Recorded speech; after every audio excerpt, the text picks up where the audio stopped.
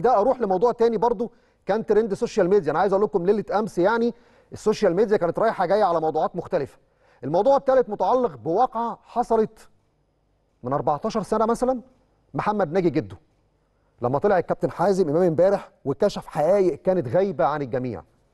واتكلم على الواقعة اللي حصلت في مسألة توقيع جدو على العقود واتحطت ورقة أكنه مضى على فلوس واستلم فلوس. وبالتالي كلام الكابتن حازم امبارح كان في نقطة مهمة جدا قال جده ما خدش فلوس جده مضى العقد ومضى على ورق فاضي اتكتب إن خد فيه فلوس. ودي كانت فكرة واحد قالها وإحنا قاعدين. وفوجئت ان هي اتعملت. في وجودي أنا وحسام وإبراهيم ولما رحت أدليت بشهادتي قلت شهادة الحق. أنا مش هخش النار عشان لاعب يروح هنا ولا يروح هنا. كلمة محترمة من الكابتن حازم إمام. ولكن مين هو الشخص صاحب الفكرة؟ حد سأل نفسه مين اللي فكر الفكرة دي؟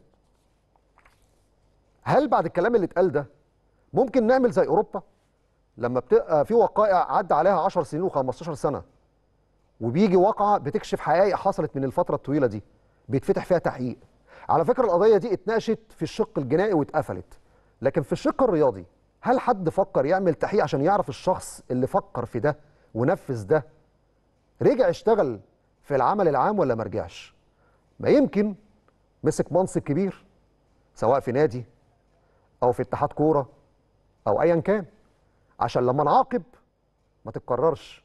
ولما نعاقب النوعيات اللي زي دي ما تجيش تمسك إدارة الكرة في مصر عشان ما تسببش أزمات وتعمل أزمات كبيرة. لأن العقلية اللي بتفكر بالطريقة دي لا يجب أن تتواجد في الوسط الرياضي.